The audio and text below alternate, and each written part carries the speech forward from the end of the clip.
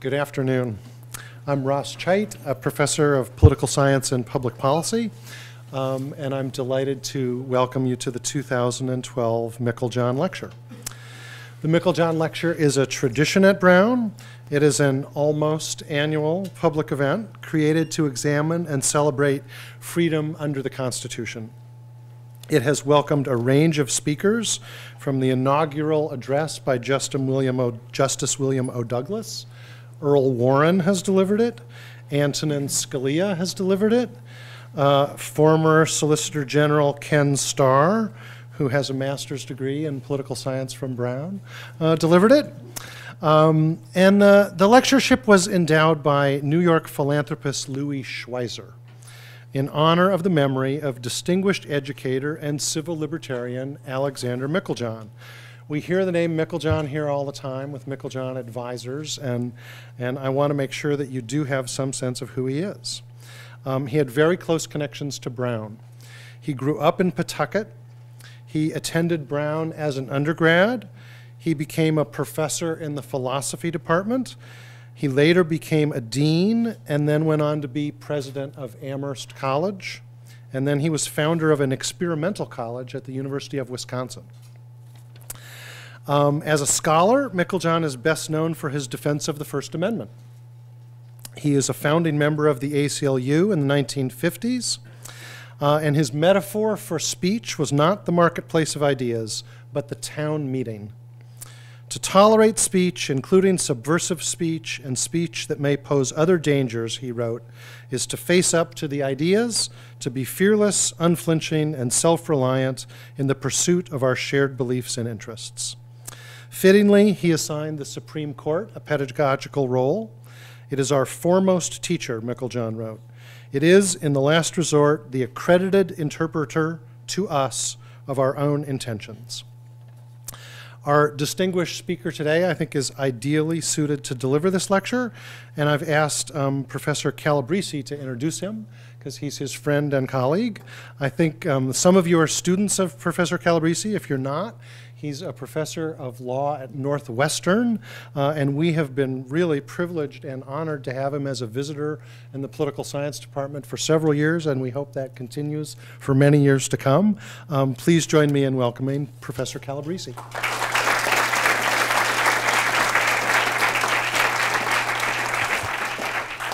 Thank you. It's a great pleasure to welcome Michael McConnell to Brown University for our annual Meiklejohn Lecture. Um, I think Michael is one of the most distinguished and successful constitutional scholars and litigators in the United States today. He is an excellent writer, an excellent scholar, an excellent teacher, an excellent litigator, and an excellent friend. I've known Michael for more than 30 years now, and I can't think of anyone else who's done more to transform the way we think, think about the Constitution. Michael's writing on religion, on freedom of speech, and on Brown v. Board of Education has forever changed our understanding of those areas of law. On a personal level, I have many happy memories of time spent with Michael, particularly a trip to the former Soviet Union in 1991 where we stayed at a hotel with no hot water and went to a grocery store with no groceries.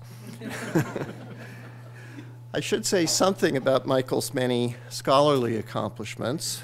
Michael is the Richard and Frances Mallory Professor and Director of the Constitutional Law Center at Stanford Law School. He's also a senior fellow at the Hoover Institution. He's the author of numerous articles and a co author of two case books as well as co-editor of a book, Christian Perspectives on Legal Thought, uh, published by Yale University Press. And since 1996, he's been a fellow of the American Academy of Arts and Sciences. Michael had an illustrious career before joining the Stanford Law faculty. He served as a circuit judge on the U.S. Court of Appeals for the 10th Circuit. Um, Prior to that, he was the presidential professor of law at the University of Utah, and before that, the William Graham Professor of Law at the University of Chicago Law School. He's also taught six times uh, as a visiting professor at Harvard Law School, and he is a former law clerk of Chief Judge J. Skelly Wright, and Justice William J. Brennan, Jr. Uh, It's a great honor to welcome Michael to Brown. Thank you.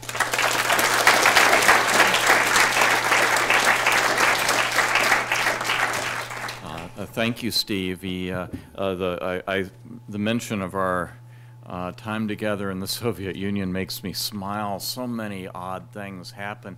This he didn't tell you that this was literally 10 days before the fall of the Soviet Union. You remember when the, when the tanks came in and Yeltsin rescued Gorbachev and so forth? That was happened. I'd like to say we were so prescient that we saw all these developments in the wind when we were there. No, not at all. It just seemed like a completely failed totalitarian state when we were there. But the high point was when we got uh, locked in a museum because we were there after the closing hours, and instead of getting people out, they just locked the doors, and we we were trying to get out, and uh, uh, I can't even remember how we did get out eventually. It was really a little scary. Uh, um, I, I guess there now is a movie about being stuck in the museum all night long, but at the time we thought we were, it had never happened to anybody before. Uh, I am very honored to be uh, here, uh, especially because uh, of, of the of the fact that this is the Meiklejohn lecture. Of course, in the field of the First Amendment, there are few, if any, maybe no names as distinguished uh, as uh, his, and for for a scholar to still dominate a field, you know, so many years uh, later is uh, is an enormous tribute, and I feel honored to be uh, uh, speaking in his uh, uh, memory. I I feel even more honored, though, that there's so many of you out here on this uh, night, and so because I know how I know what it's out there, what it's like out there, and for you to trudge through the uh, through the storm to be here, I, I really appreciate. Um, what I'm going to be uh, talking about uh, this evening, I call the architecture of the First Amendment, uh, uh, uh, based upon its grammar and its words, and a little bit about its historical context. So I'm not going to be talking about any Supreme Court cases, or any cases at all, for that matter. Uh, all I'm going to do is invite you to look with me at the amendment itself and see how much we can figure out about what it means uh, and what it's intended to accomplish uh, through nothing other than just looking at, at it. And I don't usually do PowerPoints. I think it's boring to have the uh, speaker's words up there. And, uh, but I, the reason we have a PowerPoint uh, tonight is because I wanted to make sure everybody can see the words that we're going to be talking about. And the, uh, it's not long, but there's an awful lot packed in uh, uh, to this. So Congress shall make no law respecting the establishment of religion or prohibiting the free exercise thereof or abridging the freedom of speech or of the press or the right of the people peaceably to assemble and to petition the government for a redress of grievances. Now, if you're familiar with uh, Supreme Court lore about the First Amendment, one I think I think you'll uh, realize, or you, you would agree with me, that the Supreme Court has really never paid very much attention to the text of the amendment. Um, they refer to the majestic generalities of the amendment. They sometimes give a kind of hand wave to uh, history at a very sort of romantic level of, of you know, the, the uh, uh, you know, idea of untrammeled free expression and attributing this to the founders and so forth, but they don't actually look very carefully at what they did and what is, uh, is revealed by it. Maybe that's because we're not going to get much out of it, but that'll you'll be the judge of that by the end of the evening. I think that we can learn a lot about it uh, just by uh, looking at it carefully. Um, and so, what I like to do is begin with its um, basically its grammar, its sentence structure, uh, and, the, and the key uh, point uh, to to look at is the punctuation. So, what you see is there are a number of commas. It's all one sentence, but uh, there are two semicolons, which makes it effectively three sentences, right? Three full, complete ideas. Um, and you can see and all of them introduced by this phrase, Congress shall make no law. But first, respecting the establishment of religion or prohibiting the free exercise thereof, that is obviously a grammatical unit that is not, we can tell, we don't have to know anything more about uh, the matter than just the way it is phrased to know those are not two unrelated rights. How do we know that? Because the word religion appears once, establishment of religion, free, prohibiting the free exercise thereof. Thereof means of religion. We're talking about exactly the same thing, uh, which might make us suspicious of the popular notion that the two clauses are in tension or at war with each other. Right? They, uh, at least grammatically, they're not at tension or at war. They are a, a, uh, a unity, and it should make us even more suspicious of the argument sometimes made that we ought to give the idea of religion a very broad construction for purposes of free exercise, including various secular forms of conscience, right?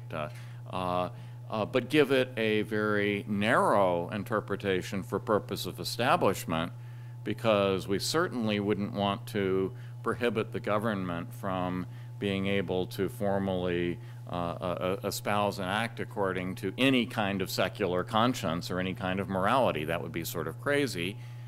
And yet, there's only one word, it's only repeated once. The idea that you give two different definitions is, uh, is I think, uh, uh, questionable. And so it seems to me that what we ought to learn from that is that we need to come up with a construction of the two parts of this, uh, of the religion clauses uh, that makes sense of it with one unified meaning and not with, uh, not with meanings that require different definitions or that point in different directions. So the second part, uh, abridging the freedom of speech or of the press, is obviously a unit as well. And so here we're talking about most obviously the spoken word and the written word. Right? And we'll talk more about uh, those uh, uh, that part of it uh, uh, in a moment. And then finally, the right of the people peaceably to assemble and to petition the government for a redress of grievances.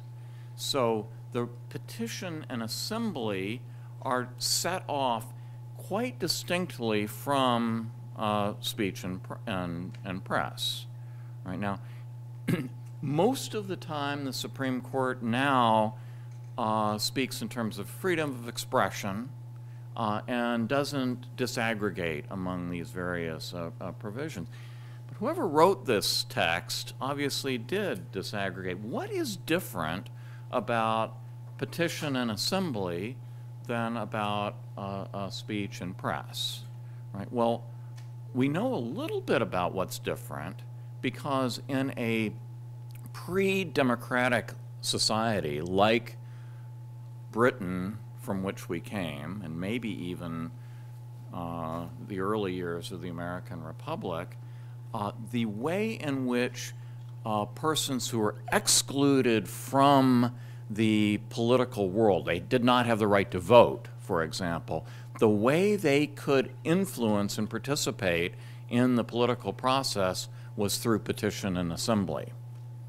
Uh, we know that because the right of, the, of petition was specifically extended in the texts of the day to all subjects in Britain, or in the earliest legal text ever to mention the right of petition, at least to my knowledge, the 1641 Body of Liberties of the Massachusetts colony, it goes so far to say, as to say that everyone has the right to petition free or unfree, and even and even foreigners. They use the word foreigners.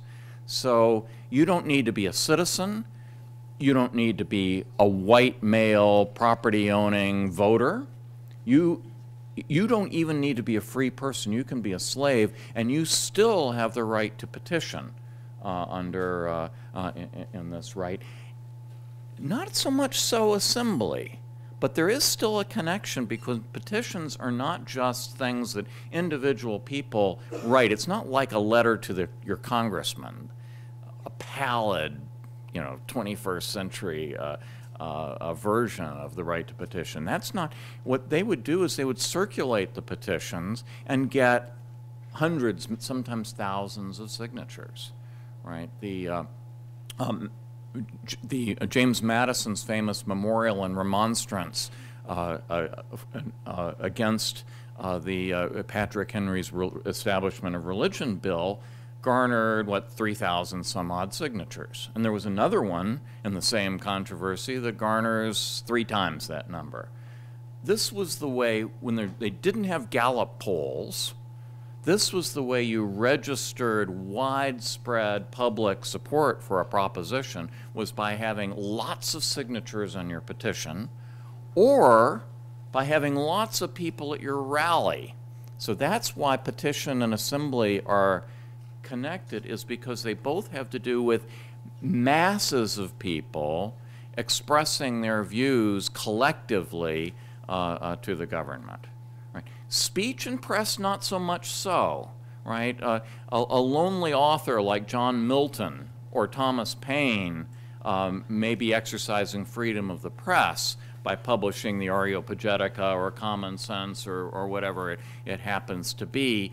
Um, and they may, that may be enormously influential. Lots of people may read it, they may be persuaded by it, but it is not a way of registering mass public opinion in a way that the rulers will have to sit up and take notice. That's not what speech and press are all about. But that is what petition and assembly are all about, is ways of, genera- of, of expressing mass uh, public opinion outside of the ordinary channels of Republican government by non-voters, by everybody, including foreigners, although I'm not so sure about foreigners for assembly, but foreigners for petition, right, uh, maybe. Um, the, uh, uh, and, and, the, and, and so th- this was politics for common people prior to modern democratic or republican forms of government. So, so it makes sense to have those together. So we see three clumpings of rights that are not the same. They have quite different uh, uh, orientation uh, uh to them. So we can see that by looking at the semicolons. Um, well, what's next? Let's look at the subject. This is, after all, one sentence, and it has a single subject, and the subject is Congress. Congress shall make no law res- uh, uh, with respect to uh, any of these um, matters. Well, that's a little puzzling, isn't it? Um, does free speech and freedom of religion and these things, is it only protected against Congress? What if the executive uh, invades freedom of speech? What if a court issues an injunction, which we might well consider to be a, uh, uh, a prior restraint, as the court, lower court, was asked to do in the, uh, in the United States against New York Times, the, the Pentagon Papers case. Right? Does, does the First Amendment really only protect us against uh, uh, Congress? And there's a, an interesting implication if that is so. Um, if that is so, the only thing Congress does is it makes laws. It doesn't enforce them, it doesn't throw people in jail, it doesn't uh, do anything to them, right? All it does is pass laws.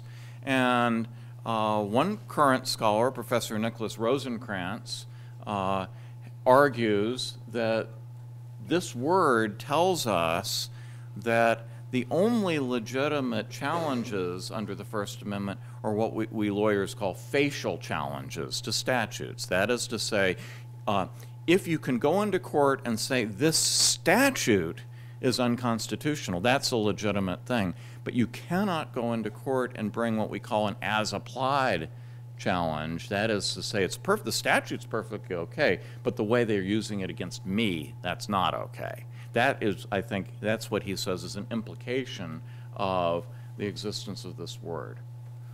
I don't agree with that. Um, I think that that might be so if all if this was the only text that we have, um, but it's not. Congress shall make no law, but we also have the due process clause. And what does the due process clause say? No person shall be deprived of life, liberty, or property and, and, note that's what happens when laws are applied by the executive or the courts is that they're they're thrown in jail or they're fined or they're uh, they're regulated, or, or the, the, the due process clause is all about what the other branches of government can do to you, right?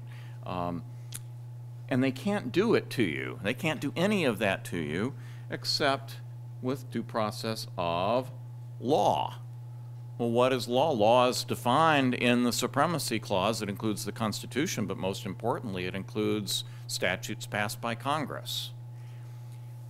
This means that neither the executive nor the courts can do these things to you except when author, oops, I'm sorry, uh, except when authorized uh, by a statute passed by Congress, because the Constitution doesn't, doesn't do that.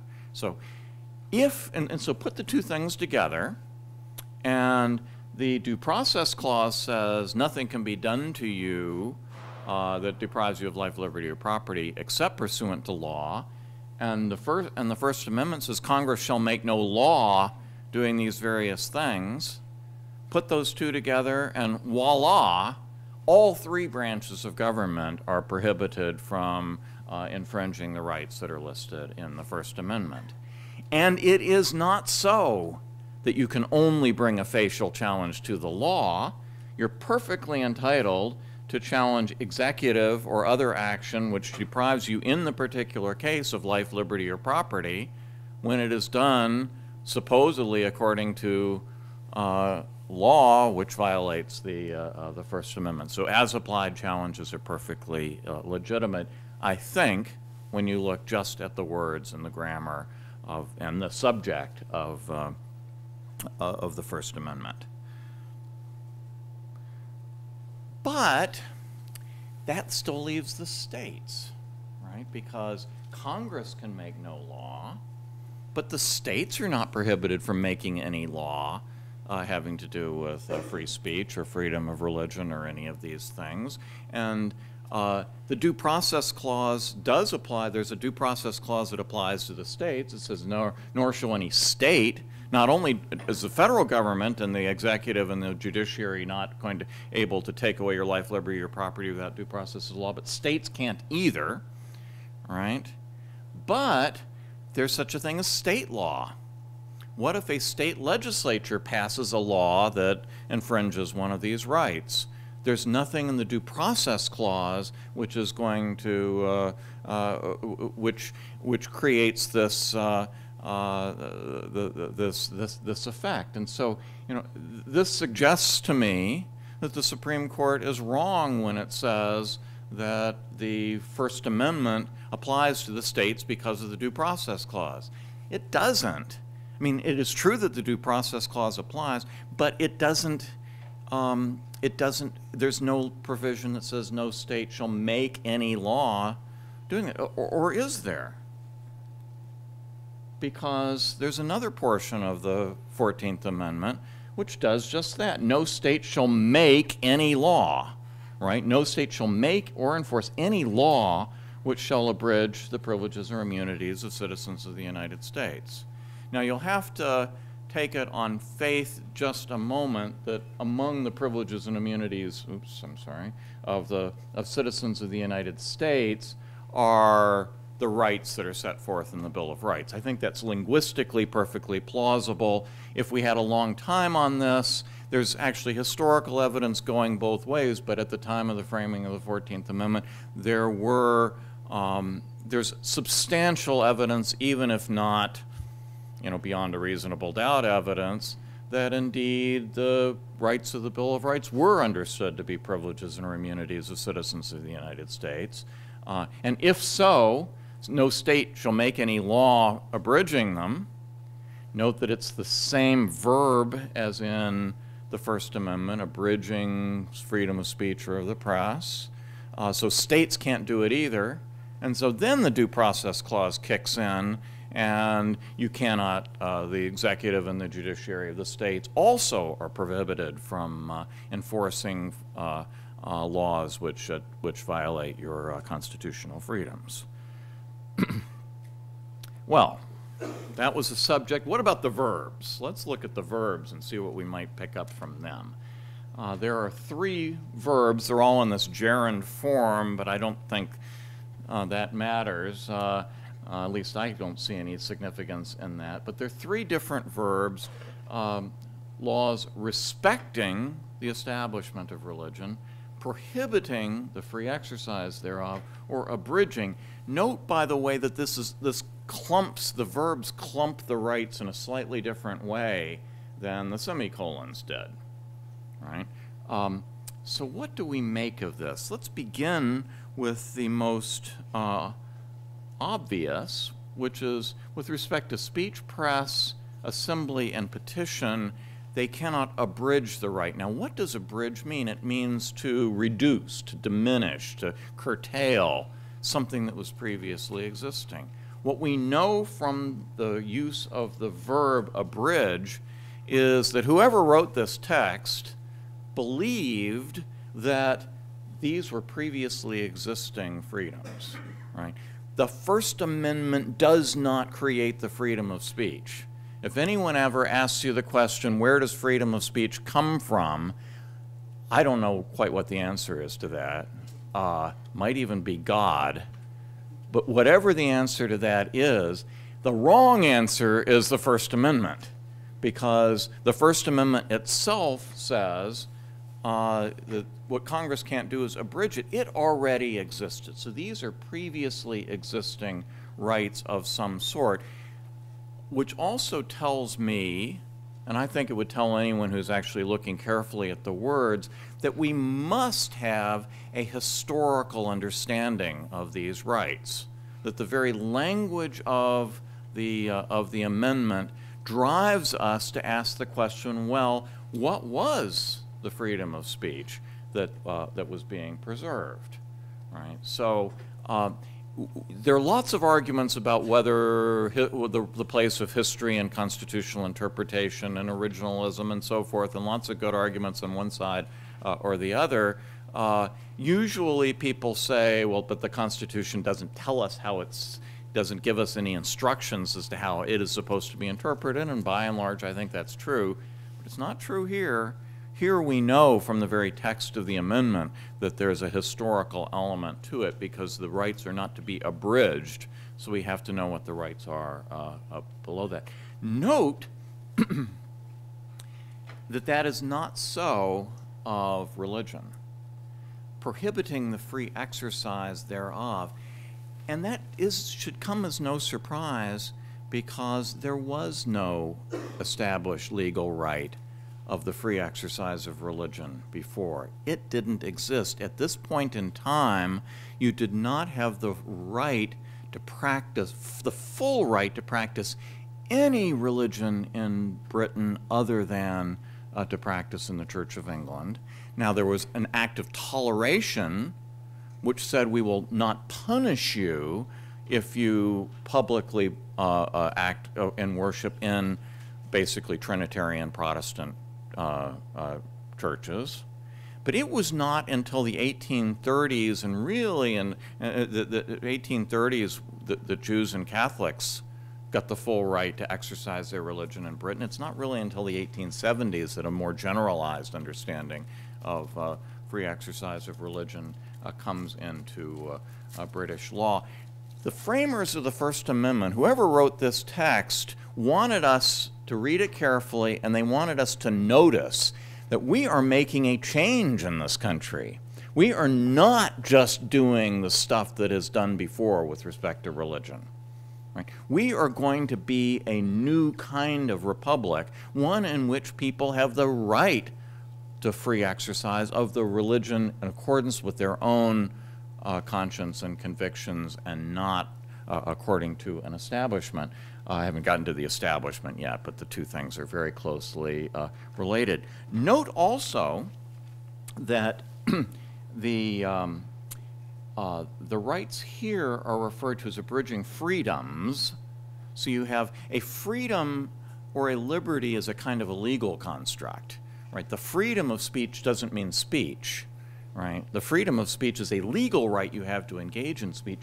Not so the free exercise of religion. It doesn't say prohibiting or diminishing the freedom of religion. It says the exercise of religion. The exercise of religion is actually doing it, right? Putting, putting your religion into, uh, uh, uh, into effect. So you have a much more direct, it's, the First Amendment is not a, uh, the re- free exercise clause is not about preserving freedom's a legal construct. It's about liberating people to be able to exercise their religion without, uh, uh, without legal uh, uh, constraint. It's like the difference if you if somebody said, um, you know, the Congress can pass no law uh, prohibiting the eating of ice cream. That means you can eat ice cream, right? If they pass something that says Congress shall make no law abridging the freedom of eating ice cream, you don't really know whether you can eat ice cream or not. You'd have to find out what the freedom of eating ice cream was, and you know that whatever that is, it can't get any worse. But uh, you know, but uh, you know, they're, they're, they're, you, you don't know. So the, the, the, so the grammar here is, is really quite uh, different. What the respecting is even odder, right? So what does the word respecting mean? I think the Supreme Court has has uh, said all kinds of odd things about this and has never really gotten to the uh, to the heart of the question. Um, because I mean, one thing you need to know, just as historical context, is at, at this time, roughly half of the states had establishments of religion of one sort or another. Every state that had a Bill of Rights, which is roughly 11 of them, protected the, some version of the free exercise of religion. So we had, at the time, there was a real prospect of what one might call a non coercive or tolerant establishment. This would be a system in which the state has formal support and encouragement for either one church or a group of churches, right? But doesn't punish people who don't belong to it, doesn't punish you if you exercise your religion somewhere else. So it's a, it's a non coercive and tolerant establishment. Roughly half of the states at this point in time had something like that, and roughly the other half had neither established, had, had no establishments uh, at all. Uh, and so they were a little sensitive in. Um, uh, in New York, where the, the, at the Capitol, about what the impact of the First Amendment might be on their homegrown establishments. They didn't want, and, and every objection to the to Madison's draft of the religion clauses on the floor of the Congress takes the form of: Is this going to injure religion? Is this going to uh, upset? The, uh, uh, our establishments. And Madison said, no, that's not what I want to do. All I want to make sure is we don't have a national establishment. And ultimately, the reason they adopt the word respecting is that means at the national level, Congress, remember we're talking only at the national level, isn't going to pass a law establishing religion, but it also can't pass a law disestablishing religion. It's going to keep its cotton picking hands off of the question of establishment. This is a federalism provision which leaves the question of establishment of religion to the states. And that's what you, you, you pick up from the word respecting. It is a deliberate choice of a word which goes both ways. Now you may say, well, can we do that now? The 14th Amendment is the thing that takes away from the states the power to establish religion. If anything does, I think, it, I think the 14th Amendment does, but nothing in this text uh, uh, uh does that. So what else can we uh, look at in this amendment? Well, there's a definite article, which I think is really quite interesting. Uh, it's abridging the freedom of speech or of the press, and by the way, also the right. This, this I think, uh, reinforces the point about, uh, about the pre existing character of, of the freedom, because it doesn't say abridging freedom of speech, which would be an abstraction. Abridging freedom of speech might mean we have a philosophical idea of sort of what's ontologically necessary of freedom of speech. Some, you know, and we might look to, you know, people like Meiklejohn and Ronald Dworkin and folks like that to tell us what is really necessary, what, what, what is freedom of speech. This is the definite article tells us we're talking about the freedom of speech. It's something concrete. It's something you can look up in the book. So it, it, it reinforces the idea of, uh, uh, of a historical uh, connotation uh, uh, to all of this, which then brings me then to the question of what was, what were the freedoms we were looking at before? And did we learn anything from that? And for that, I'm going to look to a slightly different text, one that I think most of us have forgotten, but they certainly had not forgotten it uh, back at the time of our founding, which is the English Bill of Rights. You might well think, you know, we've got a Bill of Rights. Where do they get the idea of a Bill of Rights? Well, this is where they get it from. Intermediate to that are the various state bills of rights, which were adopted in state constitutions between independence and uh, uh, and the adoption of the Constitution. English Bill of Rights. There are two parts of it. Uh, This is it's much longer than this, but I'm I've uh, brought uh, two of the provisions, which is uh, the right of the it is the right of the subjects to petition the king, and all commitments and prosecutions for such petitioning are illegal. Um, several things things that are interesting about that. Who has the right? It's the subjects who have the right. Who are the subjects of the king? It's not just the people in the political class who have a right to vote for parliament. Right? At this time in English history, I don't have the numbers in my notes, but it is less than 10% of the adult white male population is entitled to vote. The, the British uh, parliamentary system was not, it was a kind of an, an aristocratic or commercial republic. It was not what we would call a democracy, right? Uh, it was a limited monar- monarchy, not a democracy. But all of the subjects uh, have the right to petition the king, uh, and they can't be punished for it.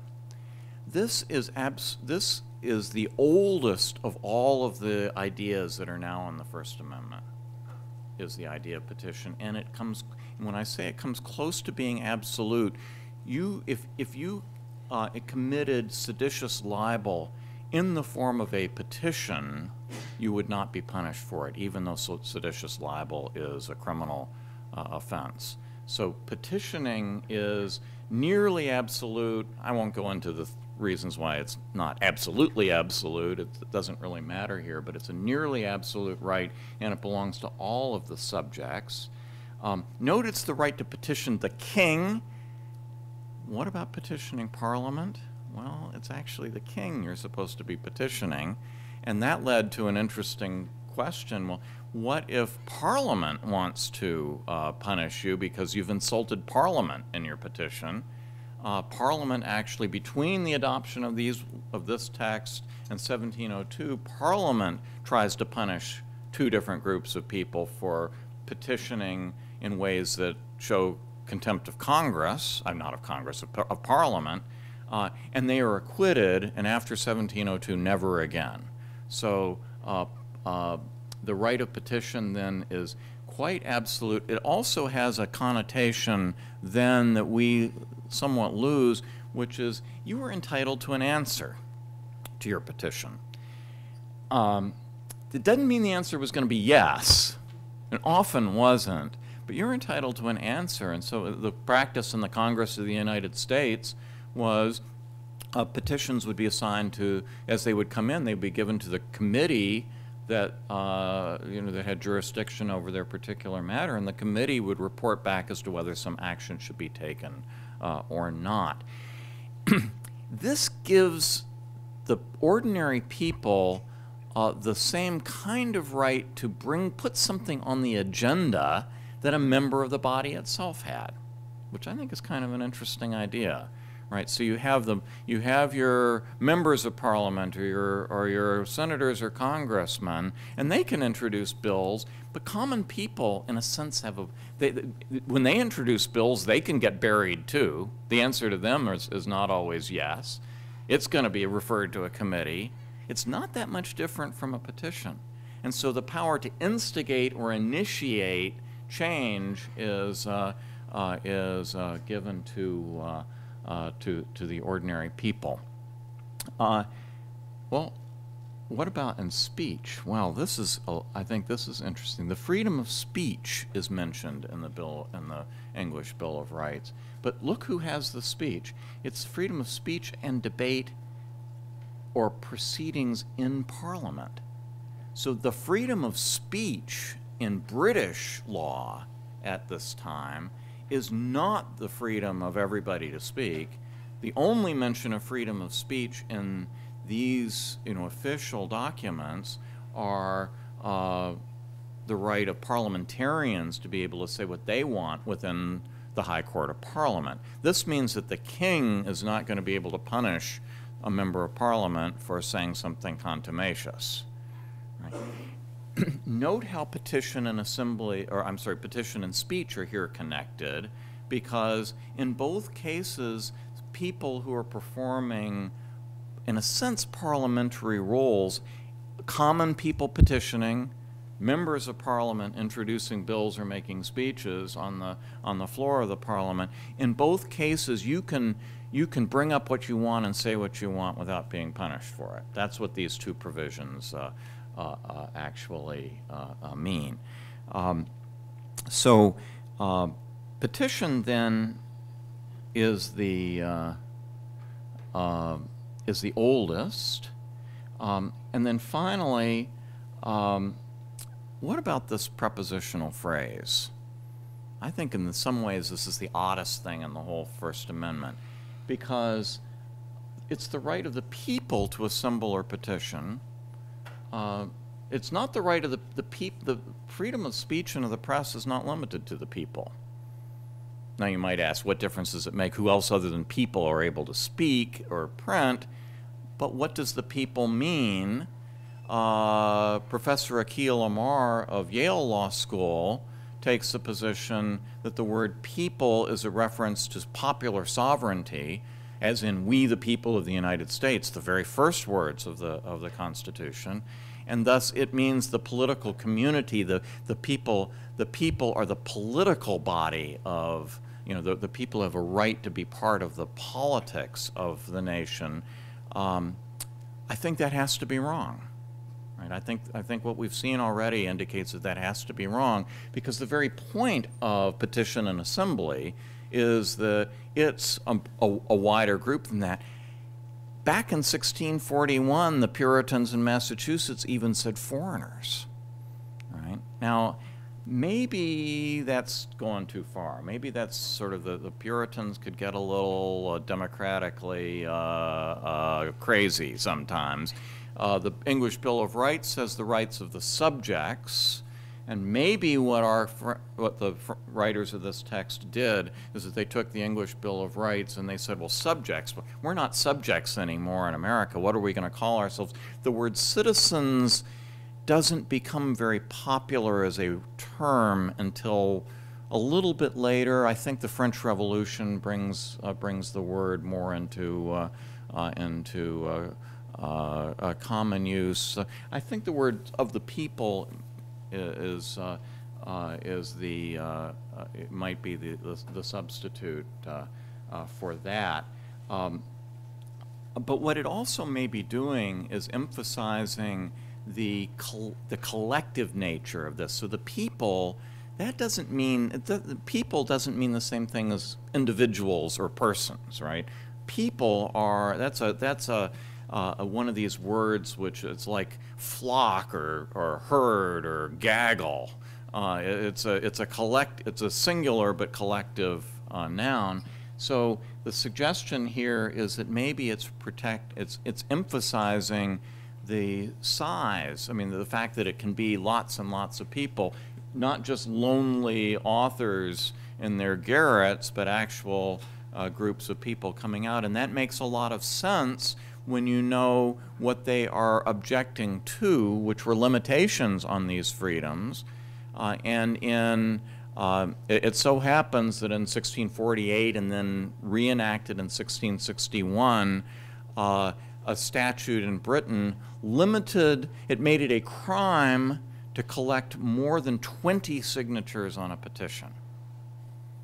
You can sort of guess why that would be, right? They didn't want to have mass petitions. So limit on 20, on, on 20. we're not going to have that. It's, if it's the right of the people to petition, that means the whole people can petition, and it's not something that's going to be limited to small numbers. The right of assembly was even more strictly limited. If you had more than 12, you were in danger of being declared an unlawful assembly.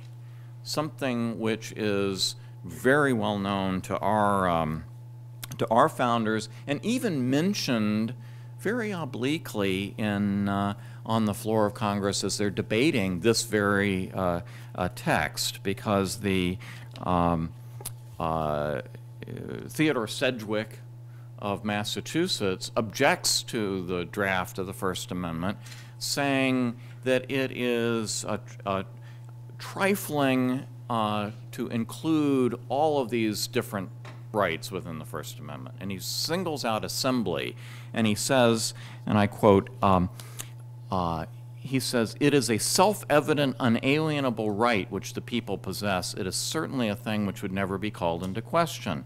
Uh, he says, uh, um, if you've if you've uh, if you've given people a, a, a, freedom of speech, well, if people um, then now I'm quoting Sedgwick, if people freely converse together, they must assemble for that purpose. So he's saying this follows. If you're protecting speech, assembly follows from it. We don't need to uh, to spell it out. Um, I think this is interesting because in a way this is exactly what the modern Supreme Court has done is it has glommed, it has taken all of these various separately enumerated rights and treated them all as aspects of freedom of speech and as derivative from uh, uh, freedom of speech. But he's answered by John Page of Virginia. Um, uh, well, well, actually, I, I left out the, the Sedgwick then starts making jokes. I mean, he's a good politician. He can be a little funny and he says, if we're going to enumerate all these various things, he says, they might as well have declared that a man should have a right to wear his hat if he pleased, or that he might get up when he pleased and go to bed when he thinks proper. Right? Uh, which is kind of witty. Um, Page of Virginia stands up and he disagrees with Sedgwick, and he says, he says that you know Sedgwick supposes that that this clause is no more essential than whether a man has a right to wear his hat or not. But let me observe to him that such rights have been opposed, and a man has been obliged to put off his hat when he appeared before the face of authority. And then he goes on to say we need to be careful about rights. Anybody here know who this man is that Page was referring to about who was punished for wearing his hat? Because everybody back in 17, I know Professor Wood knows the answer to this, but I wonder if is this a completely forgotten? Yes. George Fox. um, why do you guess George Fox? Uh, Quaker. Uh, You're very close. Who's another Quaker? Uh, William Penn. William Penn. It's William Penn, and it is because he's a Quaker. And what Page is referring to obliquely, note that the word William Penn's name isn't mentioned. Everybody in the room knows this story, though. Uh, we've forgotten it, but I want to mention it. I'll give you a very short version because I'm running out of time. But um, because there is no free exercise of religion, uh, Quaker you, you, it was not lawful to have Quaker services, although most of the time the authorities looked the other way. But William Penn was going to address a Quaker religious service on Gracious Street in London, and the authorities padlocked the meeting house so that they couldn't do it. So what does he do? He has a meeting out on the street on, in London.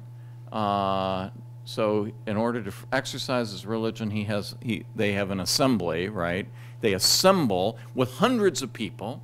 He makes a speech at this uh, uh, to them, and he is arrested for unlawful assembly. The jury, I mean, uh, refuses to convict him in an act of what has to be understood as jury nullification because the judge instructs them that having found the fact that he did this speech, he was therefore guilty. So the jury uh, acquits. Uh, the jury is then held in contempt of court which leads to the leading case on the on the independence of the jury. This case, this story is so rich, has almost every provision of the Bill of Rights in this one story. So the jury, the, that conviction is is overturned, establishing that juries are independent and may come to verdicts even uh, contrary to the instructions of the judges. The judge is so infuriated that he, as the defendant, Penn is called in. Uh, he knows Penn is a Quaker. Quakers don't don't doff their hats as a sign of uh, respect for authority because you have on, God as the only authority. We don't do that sort of thing for mere uh, uh, human beings. So Penn very wisely uh, doesn't wear a, a hat to court because when the judge comes in, he doesn't. He's not gonna. That way, he, he avoids the problem of uh, of not taking off his hat in respect for the judge. Judge orders the bailiff to take a hat. Penn comes in. Bailiff puts the hat on Penn's head. Judge comes in. Penn doesn't take it off because of his Quaker conviction. So the judge holds him in contempt of court. And he doesn't pay the fine and he's sent to jail. So the judge wins, right? But Page remembers, and everybody else remembers, that, that let me observe that a man has been obliged to pull off his hat when he appeared before the face of authority. And, the, and it's such a perfect story because it's all in defense of the right of assembly, which is the way the whole thing uh, uh, uh, started. Uh, and so, what, what Page has done is he has helped us to understand why it is so important that, uh, that these individual rights be enumerated because they are not the same. Sure, they are related, but the emphasis of each and every one of them is, uh, is slightly uh, uh, the same. So um, just um, I'll, I'll, I'll go quickly through the final point. Uh, so what about the history here? Uh, the right of petition is the oldest, and it's not to be abridged. The rights of religion are the newest, and they're not to be prohibited, right? Um, the right of press is the second oldest. It's much more dangerous than speech from the point of view of the government. I mean, if we speak together orally, I can only a few people can hear. If I didn't have the microphone on, the people in the back probably wouldn't be hearing now. And this is really an assembly anyway, and not and not just uh, speech. But but uh, speech is not very dangerous. The press now that's dangerous because hundreds and thousands of copies of things like Thomas Paine's Common Sense can be uh, uh, uh, can be distributed, and that can really undermine the government's ability to be able to uh, to control public opinion. So when the printing, when Gutenberg uh, um, has his invention and William Caxton brings it to England, the king immediately licenses, re requires a license for the owning of a printing press.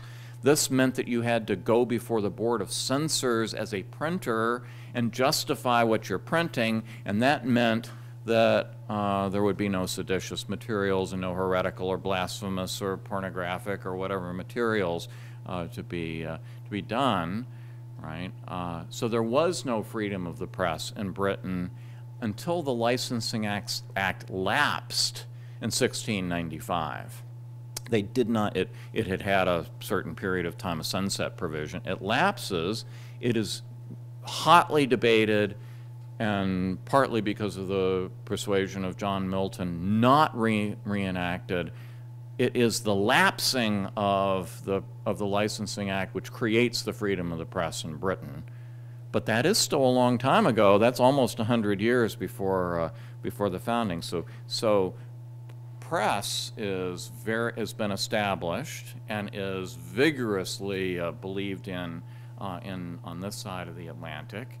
Um, speech is actually not such a big deal. Sorry, Alexander Meiklejohn. uh, but speech did not matter very much. If you look at the 11 state constitutions uh, that protect various uh, First Amendment rights, um, all of them, I'm sorry, no, I'm sorry, nine of the 11 protect press expressly, five of the 11 protect petition expressly, only one even mentions speech. At the Constitutional Convention, several people say we need to protect some important liberties. Press is always mentioned, speech is not mentioned. Even Madison, the author of the First Amendment, when he, when he presents his two uh, uh, amendments, actually, one of them uh, doesn't even mention speech. It protects press uh, and religion, but he leaves out speech. It's added by the committee, but uh, it, speech is just not a uh, is not such a big deal. Press is the big deal. It's press that all of the uh, anti-federalists are complaining. Press and religion are the rights that they are really uh, complaining need to be protected. And partly this is true because there are specific laws in Britain that they are protecting against with respect to every one of these First Amendment rights except speech. So there is an establishment of religion through the uh, Uniformity Acts. There are is an attack on free exercise of religion through the penal laws. There is a licensing act until 1695. There are these laws restricting petitions to 20 uh, uh, to 20 people, and there are numerous laws that prohibit uh, the, the right of assembly. Right? There isn't an anti-speech law. It is true that some generally applicable laws, like sed- seditious libel, have, can be applied or, or uh, to uh, uh, to speech, but there isn't an anti-speech law. And the the message of all of this is that they really didn't. Speech was secondary. They didn't really have a clear theory about exactly what it was that they were interested in. It was it was press, petition, assembly that really mattered uh, uh, uh, to them. But one last thought about this, and this is this is not my thought. This is James Madison's thought, but I'd like to bring it to you because I I, I think it makes a great deal of sense. Um, if you uh, if we go back here to the right of speech, again is the right of the meetings in Parliament. Well, under British constitutional theory, sovereignty was vested in the King and Parliament. That is, um, it is Parliament with the King that is the sovereign. They are the ultimate uh, uh, authority. Uh, in America, who is the sovereign? We believe in popular sovereignty. It's we, the people. It's the people who had the right to ordain and establish the Constitution. It's the people who are the ultimate sovereign. Not the rulers, but the sovereign is the people.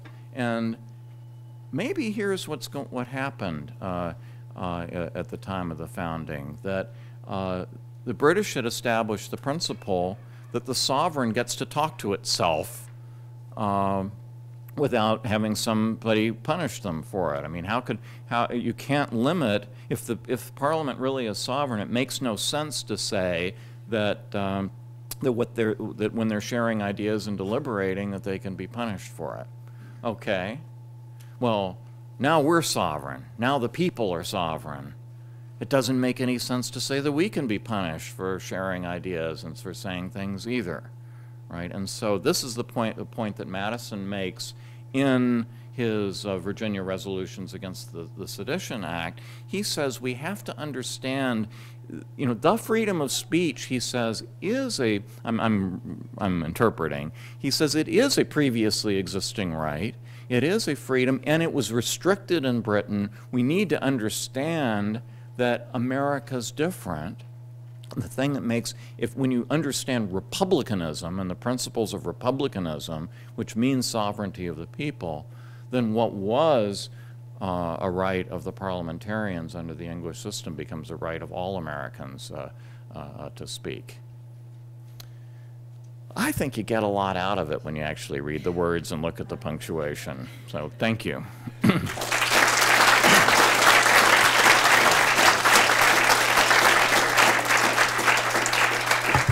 Okay, so we have um, maybe 10 or 15 minutes. We can take questions. There are two microphones. If you just line up at the microphones, we'll do from both sides.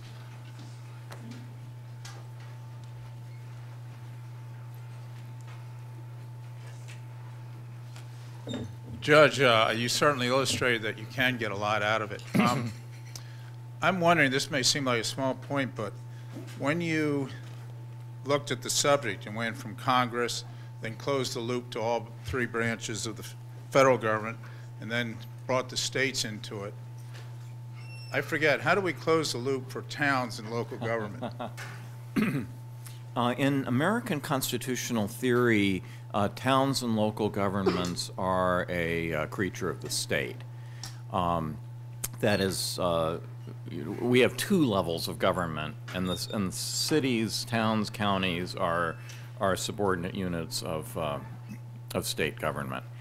Some New Englanders find that hard to understand because it doesn't quite describe the constitutional history of places like uh, Connecticut and Rhode Island and, and, and Massachusetts, but uh, nonetheless. What are you looking at to say, what are you supporting Well, if you look at the U.S. Constitution, cities are nowhere mentioned, it's all states. Uh, and then you look at state constitutions, and they all have uh, statutes that say something. You, you- the Cities and Government Act, which is uh, which will be the source of authority. So if you ask, you know, how does Providence get the right to uh, uh, to uh, collect uh, parking fees? Ultimately, that's going to be a matter of state law.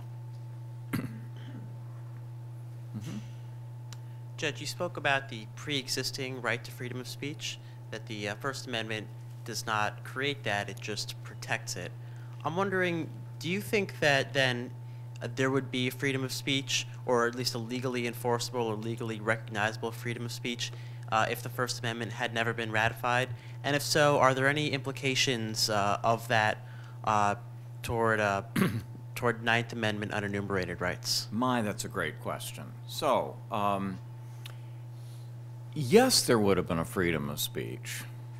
It pre, it existed before, but there would be no constitutional positive law saying that Congress can't diminish it. And as, as I understand the way pre, uh, the way rights were enforced uh, and uh, prior to a written constitution, a written constitution gives uh, uh, makes everything uh, different. But as I understand it, um, the judges would be were very well aware of uh, the existence of traditional conventional rights, but they believed that the sovereign, the sovereign, the parliament, or later the legislature, uh, did would be able to abridge those rights, uh, and if it did so specifically enough and intentionally enough through positive law, uh, that it could that it could do that. What, but but the reason why that is not as that's not as bad as you may think is because it's very hard for legislatures to be specific enough and intentional enough to get through judges, right? Uh, and so what judges would do is that they would give statutes narrowing constructions under the polite fiction that probably Parliament didn't really intend to abrogate these traditional conventional rights. And so the rights would get a kind of protection, uh, but, uh, but not in the teeth of an intentional uh, parliamentary act. Um, you see the best description of this. Blackstone has a passage in which he talks about equitable interpretation, and this is part of what he's uh, uh, what he's referring to uh, in that. And and uh, the most famous case on this side of the Atlantic involving that was uh, Rutgers against Waddington, uh, which was, uh, I believe, a 1785 case. Uh, uh, Professor Wood has a great discussion of Rutgers in his creation of the American Republic book, and and this had to do with anti-Tory legislation in the in the wake of the Revolution, and the court held that even though this New York statute looks like it's uh, violating, you know, the traditional established property rights of some of some of the English uh, during uh, the war. Surely the legislature didn't mean that, and we're going to give it a narrowing construction. And uh, uh, but the court goes out of its way to say we're not saying that the courts are superior to the legislature. If the legislature really does positively enact this law, that is, put it into positive law, well, then it would govern. But uh, in the meantime, uh, the court uh, got its way. Thank you. Hi, Judge. Thank you. Oh, oh, oh, let me just say one more thing. I, I don't know that anyone else in America believes this, but I think that this is what the Ninth Amendment is actually about. when it's, when the Ninth Amendment says that, uh, that the, that the rights that are not enumerated are not disparaged, what I think that means is that they have exactly the same legal status they would have had before we had a written Bill of Rights, and I think that means Blackstonian equitable uh, interpretation, which is a sort of middle ground where uh, uh, the legislature gets the final word, but the courts exercise a lot of power in the meantime.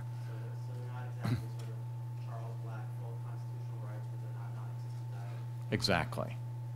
Uh, And so that would mean that if, for example, the, uh, uh, the courts would, were to say uh, uh, that um, uh, one of the modern substantive due- due process cases, like uh, birth control or abortion or whatever, the court might well say, we think that that's a natural right, a traditional right of some sort, uh, uh, and we're going to protect it. But then if the legislature comes back and says, no, we really do mean that we're going to punish sodomizers, right? Uh, then, well, okay. But legislatures often don't do that. Um, in in one of the earlier sli- slides where you underlined the word "the" before uh, freedom of speech, you mentioned that uh, it is um, that this "the" is helping us understand that there exists such a thing, and there is a there is a uh, there is an understanding of the no, the concept of uh, freedom of speech, and that the uh, the, uh, the word "the" there is trying to sort of um, remind us uh, remind us of that and, sh- and show that there exists such a thing. But again, we see that in the Ninth Amendment, the word there is referring to unenumerated rights, the rights that are uh, not defined, the- the rights that we don't understand. So it's quite an abstract notion, right? Uh, what if it isn't the, word there in the First Amendment doesn't really uh, try to address the traditional understanding of what is uh, speech, but rather an abstract notion that should be uh, approached abstractly rather than traditionally? Um, You know, I can't prove that that isn't so. It does seem to me that the use of the definite article is suggestive that it's not meant as an abstraction. That I think if I were if I were writing uh, an amendment about the abstract idea of freedom of speech, I would say Congress shall make no law abridging freedom of speech. I think the existence of the the does concretize it, but you know I haven't proven that, and uh, uh, and th- there I think there's some reasons in constitutional or jurisprudential theory why some people would prefer a more abstract uh, idea. Now I think it's the same for the ninth. We have exactly the same parallel for the Ninth Amendment. Is are these ri- rights which are retained by the people? Note that retained is also it's like a bridge in that it uh, the, the the verb there does suggest a looking back uh, and a preservationist kind of mentality rather than a rather than a, a come bringing new things into uh, uh, existence. It also, as you point out, has the definite article, but there again.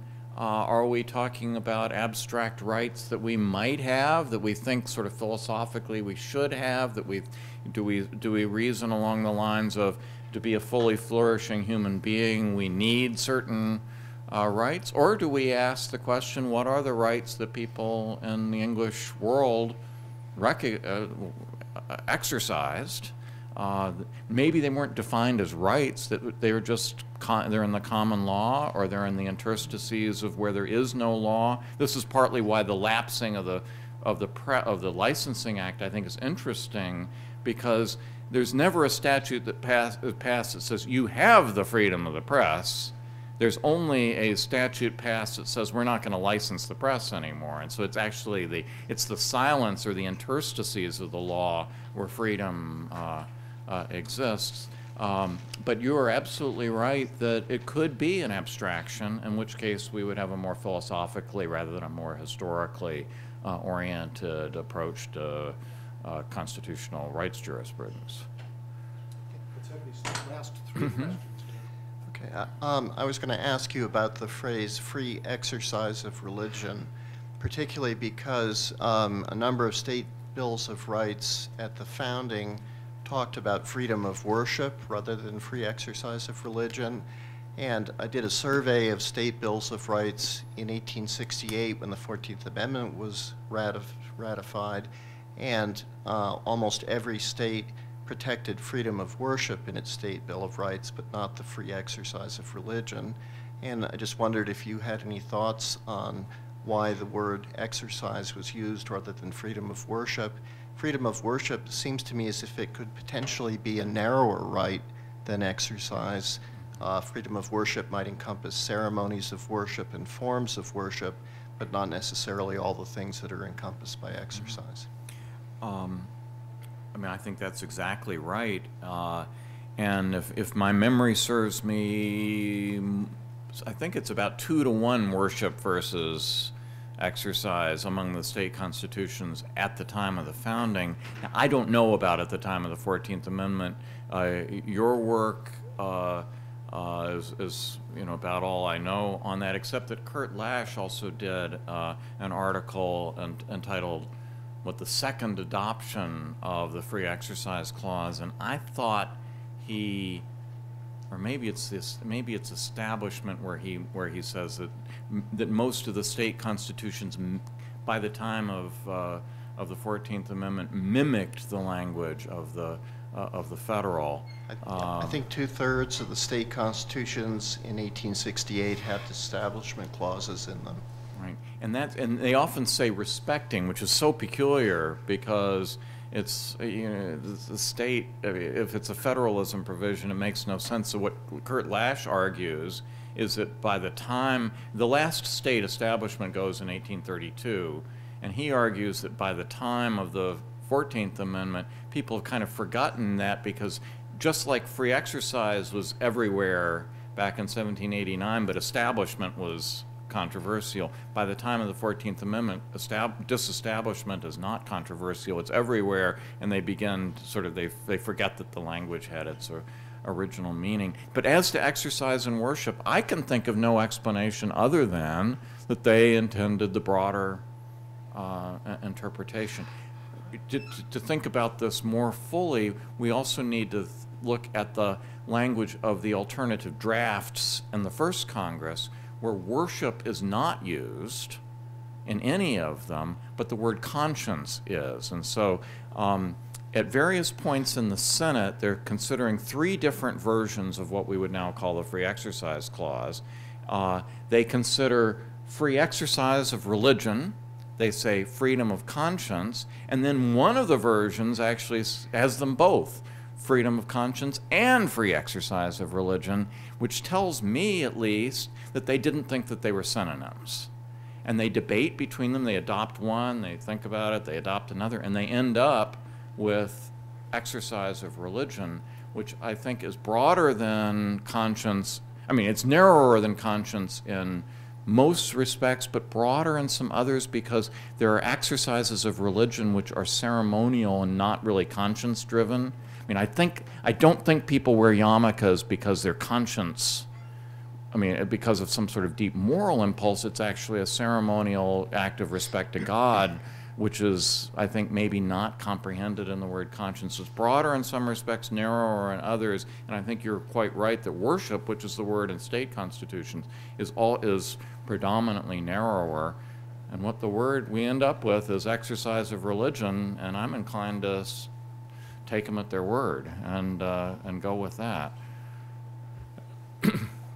I think it's interesting, by the way, in modern today, uh, people who want to minimize freedom of religion frequently substitute the term freedom of worship, including some people in very high places.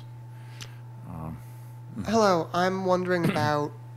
So, in your talk, we saw how the First Amendment rights, which are on their face explicitly against Congress and can be extended to the rest of the federal government with the Due Process Clause, are incorporated against the states through the Privileges or Immunities Clause because they are privileges or immunities of citizens of the United States, in your view and my view, and I think any sensible view, it would pretty much have to be, although that could be debated.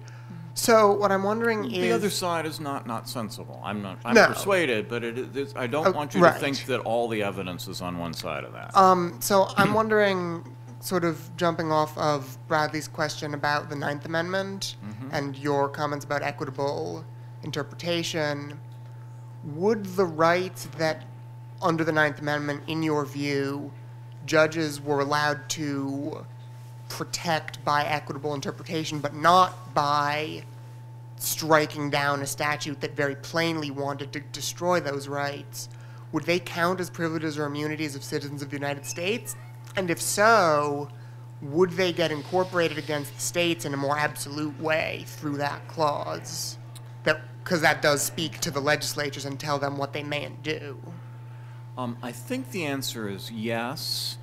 And by the time we're in a 14th Amendment world, we have thoroughly imbibed the notion of written constitutionalism and, as, as an aspect of positive law. And so that's the big shift is, you know, until you make that shift, if you think of a constitution as a sort of a, a a description of your, of your system, but not as binding constitutional law, then you don't have, you, you can't go into court and cite it, right? And I think that by the 14th Amendment, we are, uh, uh, we're thoroughly there.